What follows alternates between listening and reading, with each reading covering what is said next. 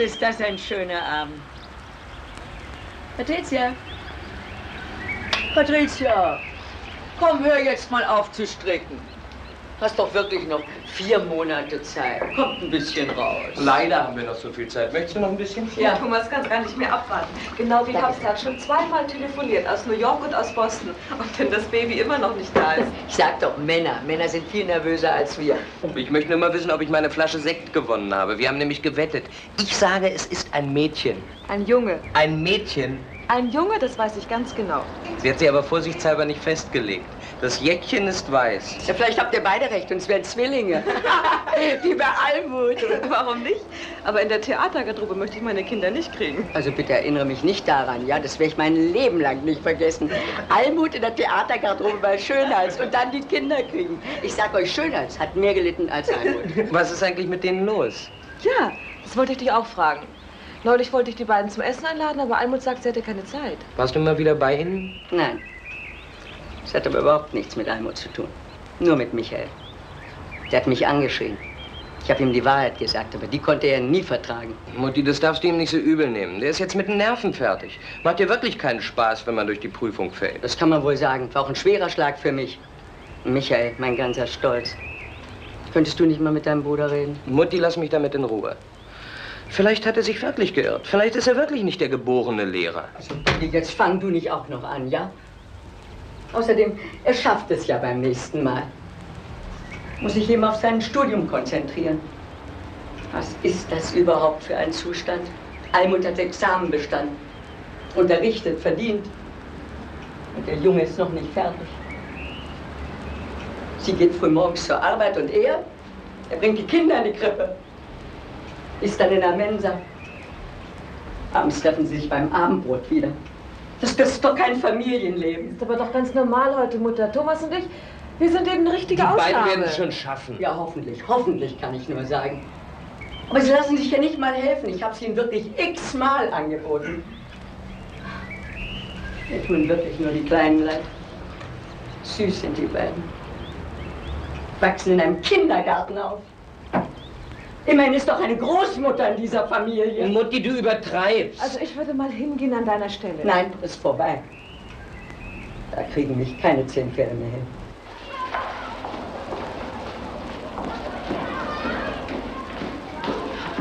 Das ist aber eine Überraschung. Wenn der Prophet nicht zum Berge kommt, kommt der Berg zum Propheten.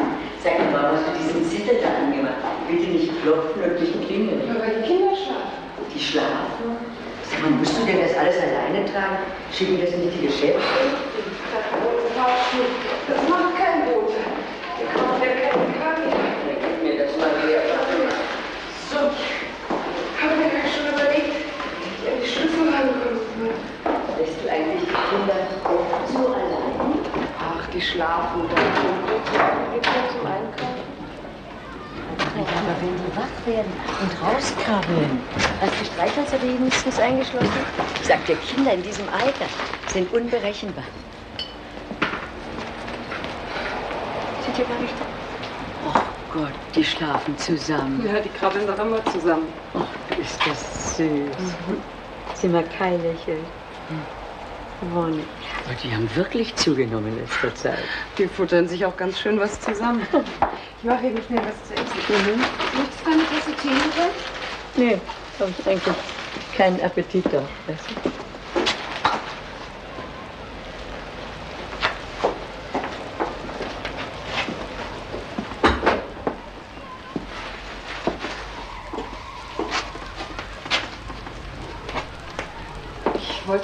Schon mal anrufen, Mutter. Vielleicht kannst du mir helfen. Ich hab's dir wirklich oft angeboten. Kannst du doch gar nicht alles allein schaffen. Haushalt, die Kinder und den Beruf. Ach, das schaffe ich schon. Nein, es ist wegen Michael. Wieso wegen Michael? Ich habe den Schreibtisch und die Bücher hier absichtlich nicht Staub gewischt. Solange der seine Bücher nicht mehr anfasst, fasse ich den Schreibtisch auch nicht mehr an. Ja, wieso arbeitet er jetzt in der Uni? Auf dem Bau. Warum? Sind doch keine Semesterferien. Michael hat sein Studium hingeschmissen. Das ist nicht möglich. Das ist doch gar nicht möglich. Der Junge kann doch das Studium nicht hinschmeißen, jetzt wo er fast fertig ist. Michael schon. Ja, aber warum? Hat seine schriftliche Arbeit wieder so schlecht abgeschnitten. Ja, nun glaubt er, dass die ganze Welt gegen ihn ist, besonders sein Professor. Ja, der wird schon seinen Grund haben. Außerdem will er endlich Geld verdienen. Und du weißt doch, er hatte den gut bezahlten Job bei dieser Baufirma. Und da hat er jetzt angefangen.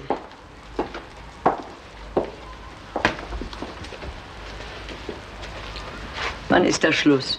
Um fünf. Naja, so lange kann ich nicht bleiben. Ich werde ihn von Dieter aus anrufen. Da bin ich um fünf angemeldet. Bitte nochmal spülen, wir sind fertig. Was? Na, das ist aber heute schnell gegangen. Wann soll ich denn wiederkommen? Hast du schon einen Termin für mich, Philipp? Nein, Mutter. Warum nicht? Weil Dieter meinte, er hat dich lange genug gequält. Behandlung ist abgeschlossen. Aber du, das hat überhaupt nicht wehgetan. Ja, gelernt ist gelernt. Verdanke ich alles meiner Mutter, die hat mich nämlich studieren lassen. Apropos, darf ich mal bei dir telefonieren? Ich mach's doch ganz kurz. Lass dir ruhig Zeit. Du bist sowieso unsere letzte Patientin. Ich will nur mal nachsehen, ob ich deinen Bruder Michael kriege. Müsste ja jetzt zu Hause sein. Ich möchte mal wissen, was der Junge sich denkt. Hallo Almut, hier ist Mama. Ist Michael jetzt zu Hause? Dann gib mir mal. Ich will ihm mal tüchtig den Kopf waschen. Nein, nein, das ist nicht nötig. Er ist schon nass. Nein, nein, er trocknet sich gerade ab. Er hat sich auf der Baustelle von Wasserrohr gestellt, das geplatzt ist. Almut, ich glaub dir kein Wort. Wo was los ist, ist Michael immer dabei. Nein, lass mal, er soll sich in Ruhe abtrocknen, sonst holt er sich noch was. Ich rede morgen mit ihm. Du, heute kann ich wirklich nicht. Ich gehe doch ins Konzert und vorher bin ich noch beim Friseur. Almut, gib mir mal die Adresse von der Baustelle, ja? Gut, Wiedersehen. Aber Mutter, du siehst doch noch recht hübsch aus mit deinem Haar. Was, mit dem Kopf? Nee, da macht mir der ganze Beethoven keinen Spaß. Ist wirklich jemand da draußen? Nee. Außerdem bin ich doch beim Friseur angemeldet. Was war denn nicht, Michael? Angeblich auf der Baustelle nass geworden. Kann ich doch nur lachen. Der ist bestimmt in den Wasserwerfer reingekommen. Ach, Mutti, hör doch auf. Michael hat völlig recht mit seinen Forderungen. So? Und dass er aufgehört hat zu studieren, ja? Findest du das auch richtig? Er fängt bestimmt wieder an. Man muss ihm nur seine Ruhe lassen. Wieso, du weißt das schon? Ach, ihr wisst das alle schon. Ich bin also hier die Letzte, die das erfahren hat. Deine Mutter hat angerufen. Was Besonderes? Sie meldet sich wieder. Ich habe ihr gesagt, was dir passiert ist. Du, das Essen ist in fünf Minuten fertig. Was hat Mutter denn gesagt? Sie hat mir kein Wort geglaubt. Typisch. Sag mal, glaubst du mir etwa auch nicht?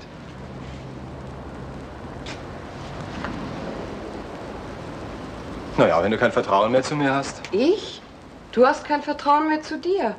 Sonst hättest du doch die ganze Sache nicht hingeschmissen. Ich weiß ganz genau, was ich tue. Schrei nicht so die Kinder wachen auf. Du redest dir etwas ein.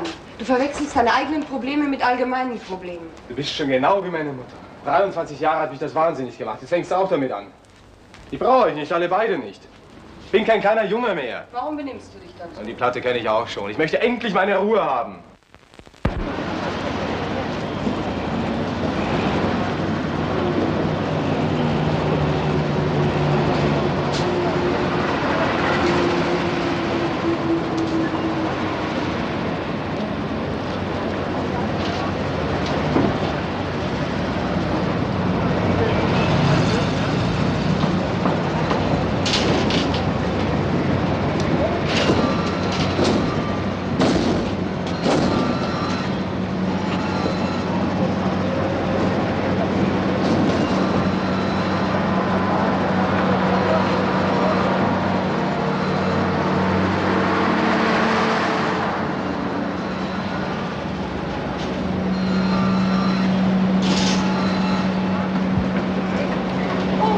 Michael! Michael! Mutter, was willst du denn hier? Ich muss mit dir sprechen. Was soll denn der Unsinn? Du kannst ja nicht einfach hier rauskommen. Wieso, wenn ich dich dringend sprechen muss?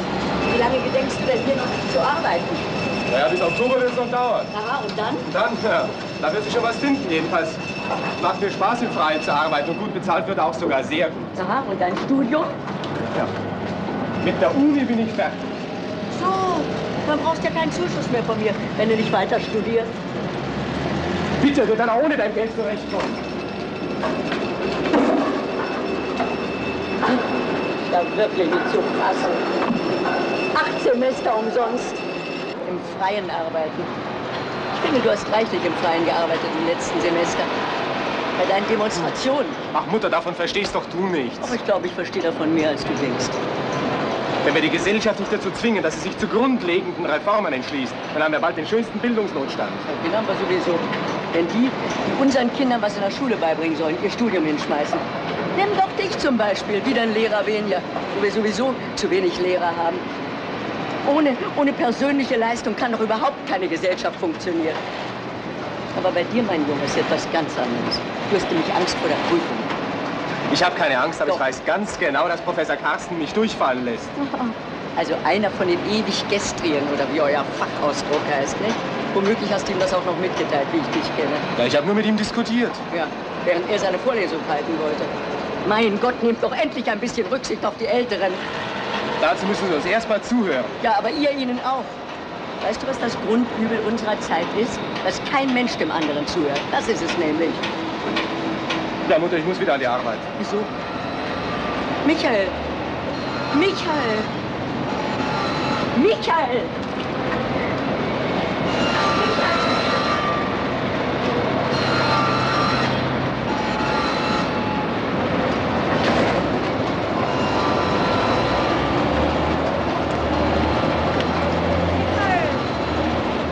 Michael! Mutter, lass mich doch! Ich muss noch was mit dir besprechen. Aber bitte nicht so laut. Ach, warum? Mich kann jeder hören. Ich muss dir sagen, ich verstehe zwar nichts von euren Problemen und deinen Studienreformen, aber du hast eine Verantwortung übernommen, mein Junge. Du hast nämlich eine Frau und Kinder. Darüber würde ich erst mal nachdenken. Ich mische mich nicht in deine Angelegenheiten. So, und jetzt gehe ich. Ist noch was. Hast nämlich Pause. So, Wiedersehen.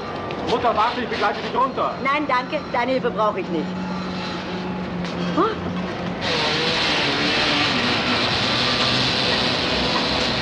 Will da runter. Na, junge Frau, nicht schwindelfrei Ihnen geht's wohl nicht gut, junge Frau. Hier gehe ich nicht mehr runter. Bis der Lift fertig ist, können Sie leider nicht stehen bleiben. Das dauert nur noch drei Monate. Aber mich bringen hier keine zehn Pferde runter. Mutter, lass dir doch helfen. Ach, das habe ich alles nur dir zu verdanken. Ich werde Sie mal runterbringen lassen. Was? Einer? Was heißt das? Sie wollen mich wohl auf den Arm nehmen. Genau. Was heißt Bringen Sie das? mal runter. Was soll das heißen? Zu... Ah! Lassen Sie mich zufrieden, Sie! Sie gehen, lassen Sie mich zu... Nein, nein! Bitte nicht! Das ist doch Mord! Oh! Das sage ich dir. Das vergesse ich dir Leben. Oh Gott! Gehen Sie weg, sonst falle ich! Oh! Oh! Sie unverschämte Menschen! Sie...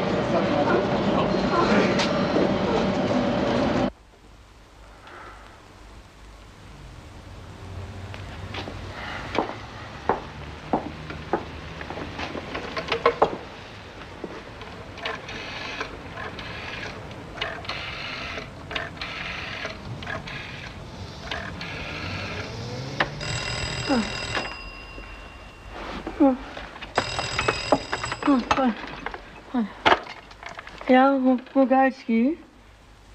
Hm? Almut? Almut, oh, oh, oh, warte, warte mal Moment, muss erst mal Licht. Was ist denn, Mädchen? Ist was passiert?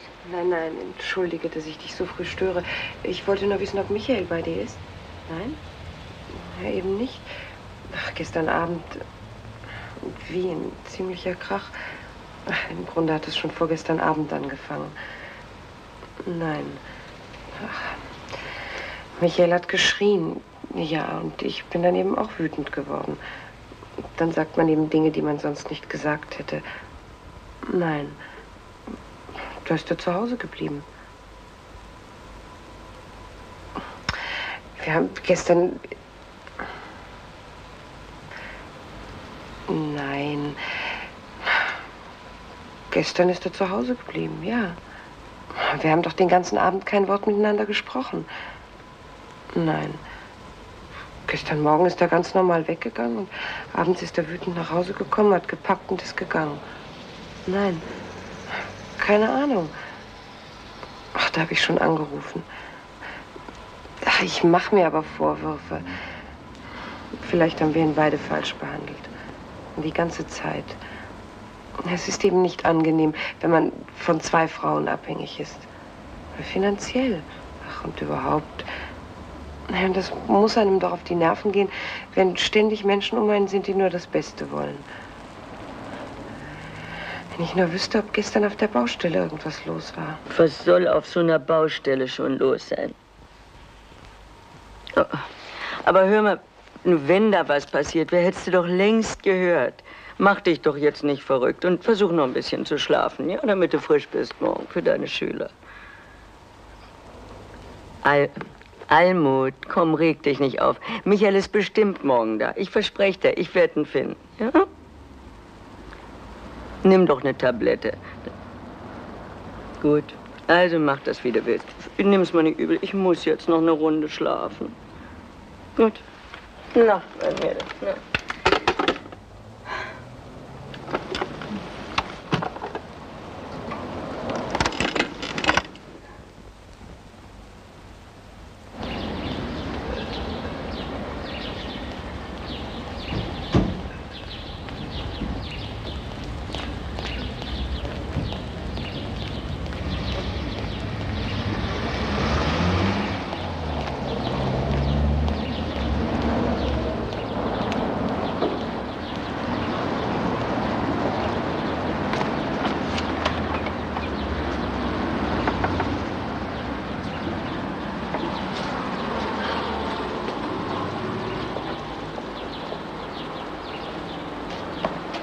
Oh, Michael! Ach, Michael, Mann, Entsch entschuldigen Sie bitte vielmals. Ich habe gedacht, Sie werden meinen Sohn verzeihen. Sie, Sie haben dieselbe Frisur im Gesicht. Wir Individualisten sehen uns alle ein bisschen ähnlich. Entschuldigen Sie, kennen Sie meinen Sohn Michael Rogalski? Nein, Wissen Sie auch nicht, wo ich ihn finden kann? Ich muss ihn so dringend sprechen. kann ich Ihnen leider nicht sagen. Aber kommen Sie am besten heute Mittag wieder. Ja? Oder noch besser fragen Sie die Uschi, die kennt ihr alle. Wieso, wer, wer ist denn Uschi? Uschi finden Sie im RC. Im RC. Ja. Ich danke Ihnen vielmals. Entschuldigen Sie bitte.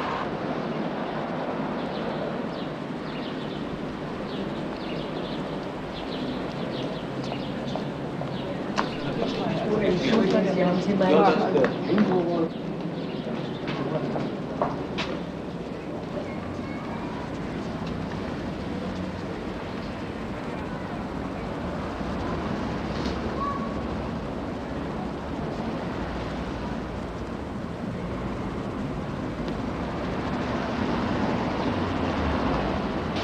Oh, verzeihen Sie. Kennen Sie vielleicht durch Zufall Michael Rogalski? Nein, ganz viele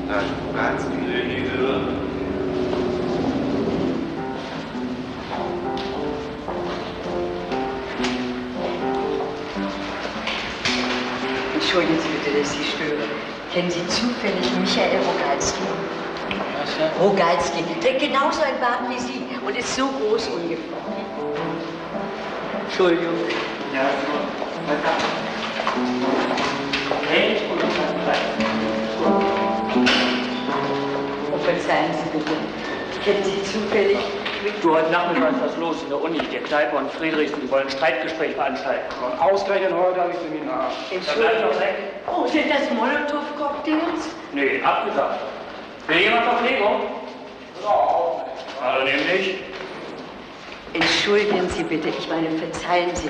Kennen Sie zufällig Michael Rogalski? Das ist nämlich mein Sohn und der ist verschwunden. Rogalski? Ja, ein Bart. Nie gehört. Der gehört doch nicht zu unserer Gruppe. Entschuldigen Sie. Bitte.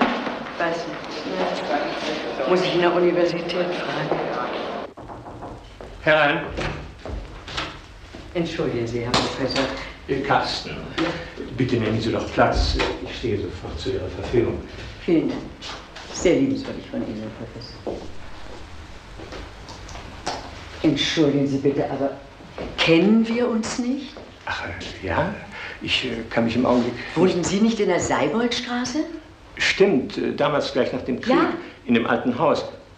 Sie hatten das Lederwarengeschäft, Frau... Ich habe nämlich die Tasche gesehen. Entschuldigen Sie, aber ich habe Sie wirklich nicht wiedererkannt. Na ja, aber es ist ja auch ein bisschen lange her.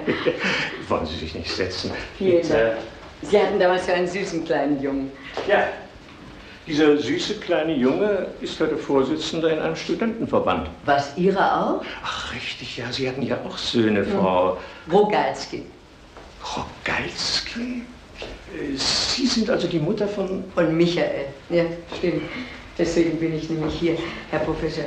Ich, ich muss Sie wirklich sehr um Entschuldigung bitten, ja, aber ich wusste mir einfach keinen Rat mehr.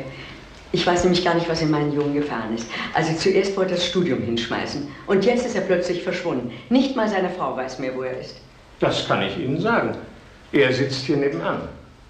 Nebenan? Mein Sohn sitzt bei Ihnen nebenan? Ja, um Gottes Willen, was macht er da? Er büffelt. Heute früh kam er an und will es noch mal versuchen. Ein typischer Fall von Prüfungspsychose. Nein. Doch, doch. Irgendjemand muss ihn bei seiner Ehre gepackt haben. Herr Professor, dieser jemand, der ist jetzt sehr stolz darauf. Das habe ich mir beinahe gedacht. Dann drücken Sie ihm mal die Daumen. Ich nehme ihn nächsten Montag dran. Wäre doch gelacht, wenn so ein begabter Junge das nicht schafft. Sie müssen ihn aber ganz in Ruhe lassen. Ja, aber wo wohnt er? Ich meine, und wer kümmert sich um ihn? Ach, da wird er schon irgendwas finden. Machen Sie sich keine Sorgen. Sich keine Sorgen machen. Der Mann hat doch keine Ahnung. Kein Mensch hält das doch aus. Sag mal, ist denn das üblich, dass Prüfungen so lange dauern? Wenn man drinsteckt, dauert es noch viel länger. Die Kinder sind auch schon ganz unruhig. Ist doch ganz klar, die spüren doch, wie nervös wir sind. Das Schlimmste ist überhaupt, dass man nichts anderes tun kann, als die Daumen drücken. Meine sind auch schon ganz platt. Wenn ich nur wüsste, wo er die ganze Woche gesteckt hat. Du, da kommen schon welche. Du, da ist er. Nein. Michael. Entschuldigen Sie. Was macht ihr denn hier? Woher wusstet ihr denn überhaupt? Deine Mutter hat eben gute Beziehungen. Du sag doch was, sag. Hast du bestanden oder hast du nicht bestanden? Tja, Mutter. Michael. Almut? Na, Der Herr Professor meint, es hat gereicht. Oh, Michael. Ich freue mich. ist er froh, dass er so einen wie mich los wird. ich gratuliere dir. Entschuldigen Sie bitte, ich gratuliere dir auch. Na, Mutter, darf ich jetzt anfangen, unser Bildungswesen zu reformieren? Allerdings, ganz ohne Demonstrationen geht es nicht. Also von mir aus, entschuldigen Sie bitte, man stört uns ja hier. Von mir aus kannst du machen, was du willst. Das muss jetzt gefeiert werden. So. Peter, die Kinder müssen erst was zu essen haben. Nein, ich habe doch schon einen Tisch bestellt. Im Chinesischen. Und Essen ist auch schon bestellt. Aber ich glaube kaum, dass sie das schon mögen. Nee, ihr geht ja jetzt alleine. Das werden wir überhaupt von jetzt ab öfter machen. Die Kinder übernehme ich. Schließlich haben sie ja eine Omi, nicht? Und berufstätige Eltern. Und jetzt verschwindet. Sonst fangen die gleich an zu heulen, wenn ich die jetzt übernehme. Mutter, willst du nicht doch mitkommen? Wir bringen die Kinder schnell nach Hause. Nein, ich habe heute sowieso Obsttag. Na, wo seid ihr denn?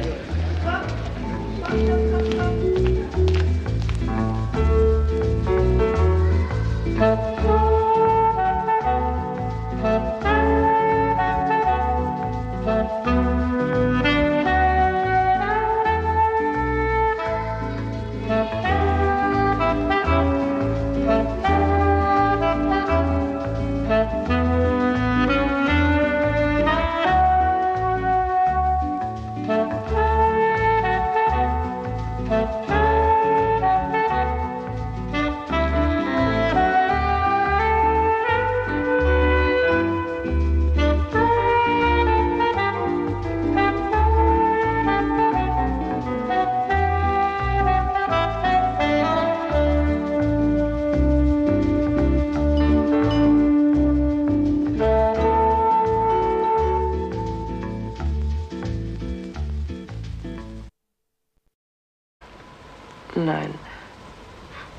Morgen ist er ganz normal weggegangen und abends ist er wütend nach Hause gekommen, hat gepackt und ist gegangen. Nein, keine Ahnung. Ach, da habe ich schon angerufen. Ach, ich mache mir aber Vorwürfe. Vielleicht haben wir ihn beide falsch behandelt. Die ganze Zeit. Es ist eben nicht angenehm, wenn man von zwei Frauen abhängig ist. Finanziell. Ach, und überhaupt. Naja, das muss einem doch auf die Nerven gehen, wenn ständig Menschen um einen sind, die nur das Beste wollen. Wenn ich nur wüsste, ob gestern auf der Baustelle irgendwas los war. Was soll auf so einer Baustelle schon los sein? Oh, Aber hör mal, wenn da was passiert wäre, hättest du doch längst gehört. Mach dich doch jetzt nicht verrückt und versuch noch ein bisschen zu schlafen, ja, damit du frisch bist morgen für deine Schüler. Al Almut, komm, reg dich nicht auf. Michael ist bestimmt morgen da. Ich verspreche dir, ich werde ihn finden. Ja? Nimm doch eine Tablette. Gut, also mach das, wie du willst. Nimm's mal nicht übel, ich muss jetzt noch eine Runde schlafen. Gut. Na, mein Mädel. Na.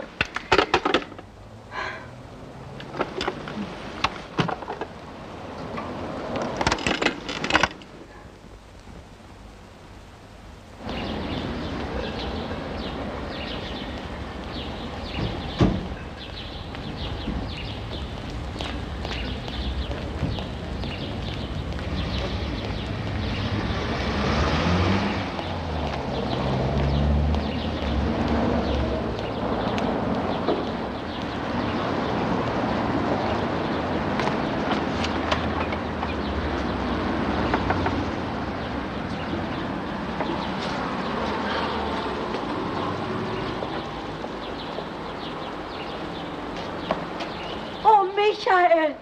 Ach, Michael, Mann, Entsch- entschuldigen Sie bitte vielmals. Ich habe gedacht, Sie werden meinen Sohn verzeihen. Sie, Sie haben dieselbe Frisur im Gesicht. Wir Individualisten sehen uns alle ein bisschen ähnlich. Entschuldigen Sie, kennen Sie meinen Sohn Michael Rogalski? Nein, Wissen Sie auch nicht, wo ich ihn finden kann? Ich muss ihn so dringend sprechen. kann ich Ihnen leider nicht sagen. Aber kommen Sie am besten heute Mittag wieder. Ja? Oder noch besser fragen Sie die Uschi, die kennt ihr alle. Wieso, wer, wer ist denn Uschi? Uschi finden Sie im RC. Im RC. Ja. Ich danke Ihnen vielmals. Entschuldigen Sie bitte.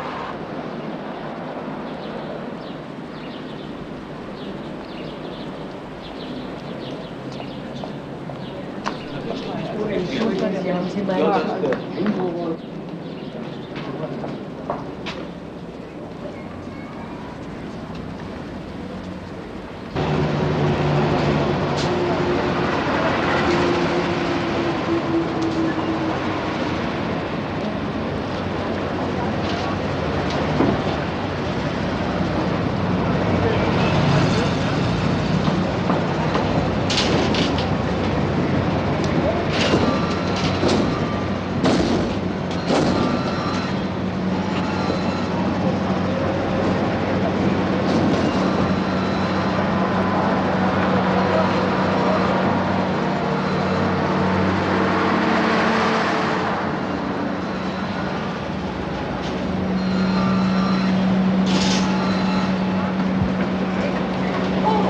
Michael!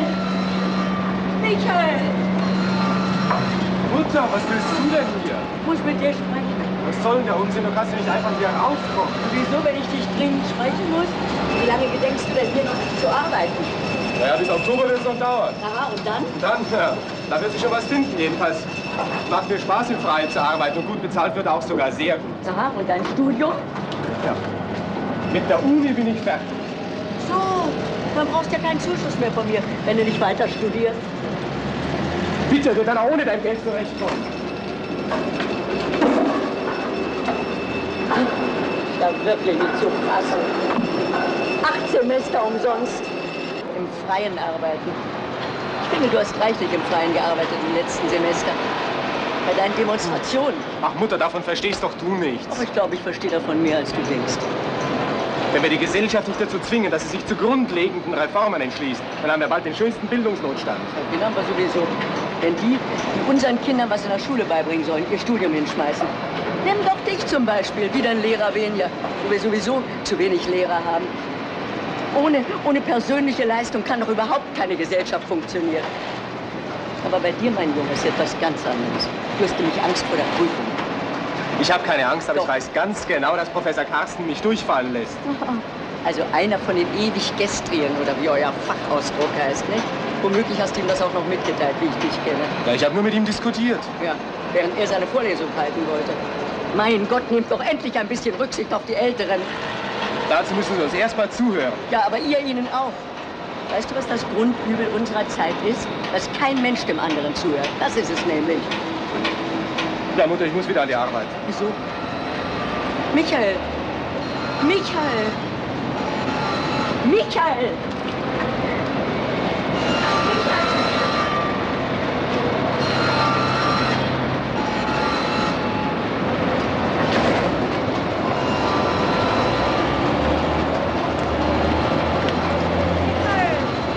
Und dann die Kinder kriegen. Ich sag euch, Schönheits hat mehr gelitten als Almut. Was ist eigentlich mit denen los? Ja, das wollte ich dich auch fragen. Neulich wollte ich die beiden zum Essen einladen, aber Almut sagt, sie hätte keine Zeit. Warst du immer wieder bei ihnen? Nein. Das hat aber überhaupt nichts mit Almut zu tun. Nur mit Michael. Der hat mich angeschrien. Ich habe ihm die Wahrheit gesagt, aber die konnte er nie vertragen. Mutti, das darfst du ihm nicht so übel nehmen. Der ist jetzt mit den Nerven fertig. Macht dir wirklich keinen Spaß, wenn man durch die Prüfung fällt. Das kann man wohl sagen. War auch ein schwerer Schlag für mich. Michael, mein ganzer Stolz. Könntest du nicht mal mit deinem Bruder reden? Mutti, lass mich damit in Ruhe. Vielleicht hat er sich wirklich geirrt. Vielleicht ist er wirklich nicht der geborene Lehrer. Also, jetzt fang du nicht auch noch an, ja? Außerdem, er schafft es ja beim nächsten Mal. Muss sich eben auf sein Studium konzentrieren. Was ist das überhaupt für ein Zustand? Almut hat Examen bestanden, unterrichtet, verdient. Und der Junge ist noch nicht fertig. Sie geht früh morgens zur Arbeit und er, er bringt die Kinder in die Krippe. Ist dann in der Mensa. Abends treffen sie sich beim Abendbrot wieder. Das, das ist doch kein Familienleben. Das ist aber doch ganz normal heute, Mutter. Thomas und ich, wir sind eben eine richtige Die Ausnahme. beiden werden es schon schaffen. Ja, hoffentlich. Hoffentlich kann ich nur sagen. Aber sie lassen sich ja nicht mal helfen. Ich habe es ihnen wirklich x-mal angeboten. Mir tun wirklich nur die Kleinen leid. Süß sind die beiden. Wachsen in einem Kindergarten auf. Immerhin ist doch eine Großmutter in dieser Familie. Mutti, du übertreibst. Also ich würde mal hingehen an deiner Stelle. Nein, ist vorbei. Da kriegen mich keine zehn Pferde mehr hin.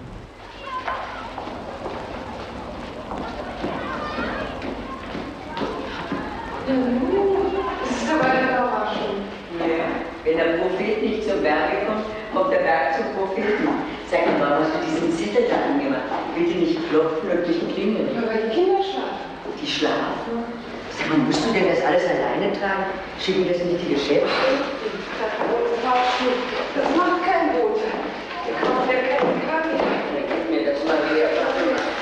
So, haben wir ja schon überlegt, wie ich an die Schlüssel rankommen will. Lässt du eigentlich die Kinder oft so allein? Ach, die schlafen da. Wir gehen zum Einkaufen. Aber wenn die wach werden und rauskrabbeln, hast du Streichhölzer wenigstens eingeschlossen? Ich sag dir, Kinder in diesem Alter sind unberechenbar. Seht ihr gar nicht? Oh Gott, die schlafen zusammen. Ja, die krabbeln doch immer zusammen. Oh, ist das süß. Sieh mal, Kai lächelt. Wonne. Aber die haben wirklich zugenommen in letzter Zeit. Die futtern sich auch ganz schön was zusammen. Ich mache eben Dein Bruder Michael kriege. Müsste ja jetzt zu Hause sein. Ich möchte bloß mal wissen, was der Junge sich denkt. Hallo Almut, hier ist Mama. Ist Michael jetzt zu Hause? Na, dann gib mir mal. Ich will ihm mal tüchtig den Kopf waschen. Nein, nein, das ist nicht nötig. Er ist schon nass. Nein, nein, er trocknet sich gerade ab. Er hat sich auf der Baustelle von Wasserrohr gestellt, das geplatzt ist. Almut, ich glaub dir kein Wort. Wo was los ist, ist Michael immer dabei. Nein, lass mal, er soll sich in Ruhe abtrocknen, sonst holt er sich noch was. Ich rede morgen mit ihm. Du, heute kann ich wirklich nicht. Ich gehe doch ins Konzert und vorher bin ich noch beim Friseur. Almut, gib mir mal die Adresse von der Baustelle, ja? Gut, Wiedersehen. Aber Mutter, du siehst doch noch recht hübsch aus mit deinem Haar. Was, mit dem Kopf? Nee, da macht mir der ganze Beethoven keinen Spaß. Ist wirklich jemand mehr draußen? Nee. Außerdem bin ich doch beim Friseur angemeldet. Was war denn nicht, Michael? Angeblich auf der Baustelle nass geworden. Kann ich doch nur lachen. Der ist bestimmt in den Wasserwerfer reingekommen. Ach, Mutti, hör doch auf. Michael hat völlig recht mit seinen Forderungen. So? Und dass er aufgehört hat zu studieren, ja? Findest du das auch richtig? Er fängt bestimmt wieder an. Man muss ihm nur seine Ruhe lassen.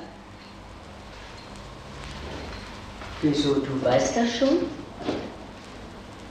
Ach, ihr wisst das alle schon. Ich bin also hier die Letzte, die das erfahren hat. Deine Mutter hat angerufen. Was Besonderes? Sie meldet sich wieder. Ich habe ihr gesagt, was dir passiert ist. Du, das Essen ist in fünf Minuten fertig. Was hat Mutter denn gesagt? Sie hat mir kein Wort geglaubt. Typisch. Sag mal, glaubst du mir etwa auch nicht?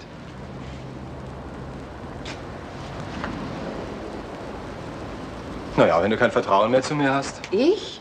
Du hast kein Vertrauen mehr zu dir. Sonst hättest du doch die ganze Sache nicht hingeschmissen. Ich weiß ganz genau, was ich tue. Ich schrei nicht so die Kinderwachen auf. Du redest dir etwas ein. Du verwechselst deine eigenen Probleme mit allgemeinen Problemen. Du bist schon genau wie meine Mutter. 23 Jahre hat mich das wahnsinnig gemacht. Jetzt fängst du auch damit an. Die brauche ich nicht, alle beide nicht. Ich bin kein kleiner Junge mehr. Warum benimmst du dich dann so? Und die Platte kenne ich auch schon. Ich möchte endlich meine Ruhe haben.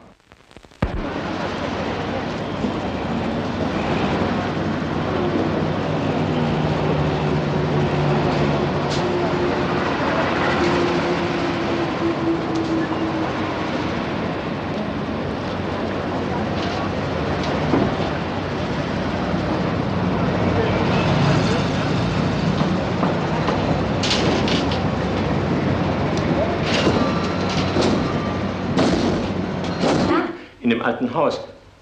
Sie hatten das Lederwarengeschäft, Frau. Ich habe mich die Tasche gesehen. Entschuldigen Sie, aber ich habe Sie wirklich nicht wiedererkannt. Na ja, aber es ist ja auch ein bisschen lange her. Wollen Sie sich nicht setzen? Vielen Mit, äh, Dank. Sie hatten damals so einen süßen kleinen Jungen. Ja, dieser süße kleine Junge ist heute Vorsitzender in einem Studentenverband. Was, Ihre auch? Ach, richtig, ja, Sie hatten ja auch Söhne, Frau Rogalski. Rogalski? Sie sind also die Mutter von... Und Michael. Ja, stimmt. Deswegen bin ich nämlich hier. Herr Professor, ich, ich muss Sie wirklich sehr um Entschuldigung bitten. Ja, aber ich wusste mir einfach keinen Rat mehr. Ich weiß nämlich gar nicht, was in meinen Jungen gefahren ist. Also zuerst wollte er das Studium hinschmeißen. Und jetzt ist er plötzlich verschwunden. Nicht mal seine Frau weiß mehr, wo er ist. Das kann ich Ihnen sagen. Er sitzt hier nebenan. Nebenan? Mein Sohn sitzt bei Ihnen nebenan? Ja, um Gottes Willen, was macht er da? Er büffelt. Heute früh kam er an und will es nochmal versuchen. Ein typischer Fall von Prüfungspsychose. Nein. Doch, doch. Irgendjemand muss ihn bei seiner Ehre gepackt haben. Herr Professor, dieser jemand, der ist jetzt sehr stolz darauf. Das habe ich mir beinahe gedacht. Dann drücken Sie ihm mal die Daumen. Ich nehme ihn nächsten Montag dran. Wäre doch gelacht, wenn so ein begabter Junge das nicht schafft. Sie müssen ihn aber ganz in Ruhe lassen. Ja, aber wo wohnt er? Ich meine, und wer kümmert sich um ihn? Auch, da wird er schon irgendwas finden. Machen Sie sich keine Sorgen. Sich keine Sorgen machen. Der Mann hat doch keine Ahnung. Kein Mensch hält das doch aus. Sag mal, ist denn das üblich, dass Prüfungen so lange dauern? Wenn man drinsteckt, dauert es noch viel länger. Die Kinder sind auch schon ganz unruhig. Ist doch ganz klar. Die spüren doch, wie nervös wir sind. Das Schlimmste ist überhaupt, dass man nichts anderes tun kann, als die Daumen drücken. Meine sind auch schon ganz platt.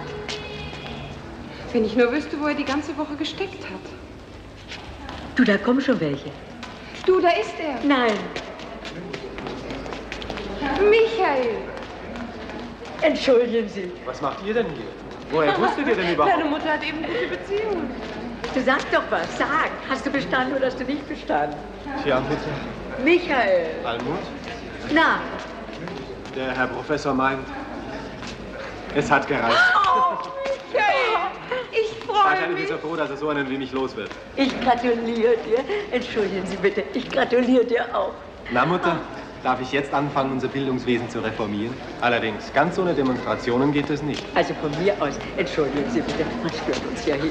Von mir aus kannst du machen, was du willst. Das muss jetzt gefeiert werden. So. Peter, die Kinder müssen erst was zu essen haben. Nein, ich habe doch schon einen Tisch bestellt. Im Chinesischen. Und Essen ist auch schon bestellt. Aber ich glaube kaum, dass sie das schon mögen. Nee, ihr geht ja jetzt allein. Das wird... Frau Gruppe. Entschuldigen Sie. Weiß nicht. Muss ich in der Universität fragen. Herein. Entschuldigen Sie, Herr Professor. Äh, Carsten, bitte nehmen Sie doch Platz. Ich stehe sofort zu Ihrer Verfügung. Vielen Dank. Sehr liebenswürdig von Ihnen, Herr Professor. Entschuldigen Sie bitte, aber kennen wir uns nicht? Ach, äh, ja? Ich äh, kann mich im Augenblick... Wohnten Sie nicht in der Seiboldstraße? Stimmt, äh, damals gleich nach dem Krieg. Ja. In dem alten Haus. Sie hatten das Lederwarengeschäft, Frau... Ich habe nämlich die Tasche gesehen. Entschuldigen Sie, aber ich habe Sie wirklich nicht wiedererkannt. Na ja, aber es ist ja auch ein bisschen lange her. Wollen Sie sich nicht setzen? Vielen Dank. Sie hatten damals so einen süßen kleinen Jungen. Ja, dieser süße kleine Junge ist heute Vorsitzender in einem Studentenverband. Was, Ihre auch? Ach, richtig, ja, Sie hatten ja auch Söhne, Frau Rogalski. Rogalski? Sie sind also die Mutter von... Von Michael. Ja, stimmt. Deswegen bin ich nämlich hier, Herr Professor. Ich, ich muss Sie wirklich sehr um Entschuldigung bitten, ja, aber ich wusste mir einfach keinen Rat mehr. Ich weiß nämlich gar nicht, was in meinen Jungen gefahren ist. Also zuerst wollte er das Studium hinschmeißen. Und jetzt ist er plötzlich verschwunden. Nicht mal seine Frau weiß mehr, wo er ist. Das kann ich Ihnen sagen. Er sitzt hier nebenan. Nebenan? Mein Sohn sitzt bei Ihnen nebenan? Ja, um Gottes Willen, was macht er da? Er büffelt. Heute früh kam er an und will es noch mal versuchen. Ein typischer Fall von Prüfungspsychose. Nein. Doch, doch. Irgendjemand muss ihn bei seiner Ehre gepackt haben. Herr Professor, dieser jemand, der ist jetzt sehr stolz darauf. Das habe ich mir beinahe gedacht. Dann drücken Sie ihm mal die Daumen. Ich nehme ihn nächsten Montag dran. Wäre doch gelacht, wenn so ein begabter Junge das nicht schafft. Sie müssen ihn aber ganz in Ruhe lassen. Ja, aber wo wohnt er? Ich meine, und wer kümmert sich um ihn? Ach, da wird er schon irgendwas finden. Machen Sie sich keine Sorgen. Sich keine Sorgen machen. Der Mann hat doch keine Ahnung. Kein Mensch hält das doch aus. Sag mal, ist denn das üblich, dass Prüfungen so lange dauern? Wenn man drinsteckt, dauert es noch viel länger. Die Kinder sind auch schon ganz unruhig. Ist doch ganz klar. Die spüren doch, wie nervös wir sind. Das Schlimmste ist überhaupt, dass man nichts anderes tun kann, als die Daumen drücken. Meine sind auch schon ganz platt. Wenn ich nur wüsste, wo er die ganze Woche gesteckt hat. Du, da kommen schon welche. Du, da ist er. Nein. Michael. Entschuldigen Sie. Was macht ihr denn hier? Woher wusstet ihr denn überhaupt? Deine Mutter hat eben gute Beziehungen. Du sag doch was. Sag. Hast du bestanden oder hast du nicht bestanden? Tja, bitte. Michael. Almut? Na, Der Herr Professor meint,